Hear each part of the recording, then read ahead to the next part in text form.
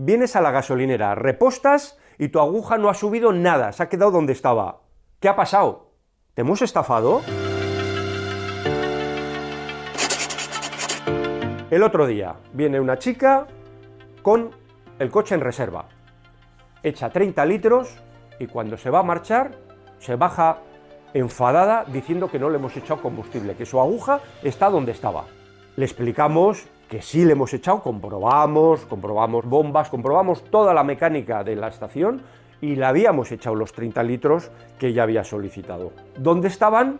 Pues en su coche. ¿Por qué no lo marcaba? Bueno, ella no se creía esta versión y decide rellenar una hoja de reclamaciones. Y mientras le está rellenando, se va al coche para recoger unos datos del vehículo. ¿Y cuál es su sorpresa? Que cuando vuelve la aguja ya estaba donde se suponía que tenía que estar. Esto ya se lo habíamos dicho nosotros. A veces la sonda del coche se queda atascada, a veces salta cuando entras en carretera, a veces sale un rato, a veces sucede que se queda arriba tú, no, tú crees que sigues con el depósito lleno, pero va bajando y se ha quedado arriba hasta que te quedas tirado en la carretera. A veces se engatilla y hay que llevarlo al taller a engrasar o a cambiar la sonda.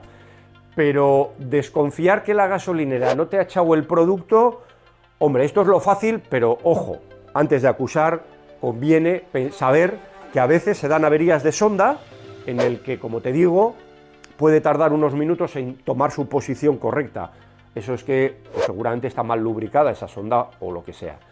Entonces, bueno, quería contarte este caso para si te pasa en alguna ocasión que sepáis que hay una segunda opción y que seguramente es la más habitual y es que tu sonda se ha quedado en una posición y que sí, irá posiblemente a su sitio, pero para veces no lo hace instantáneamente. ¿Vale? Venga, hasta pronto.